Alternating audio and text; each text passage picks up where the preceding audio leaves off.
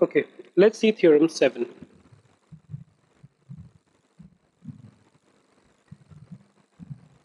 Theorem 7 says that if two chords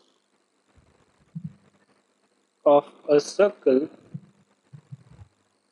are at equal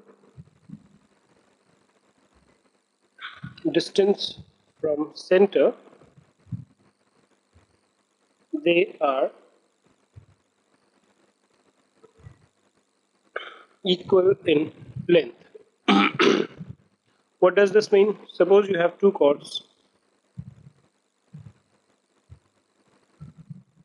P, Q, M, A, B, C.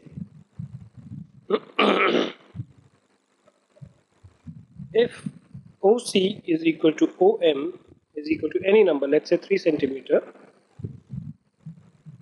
then PQ is equal to AB.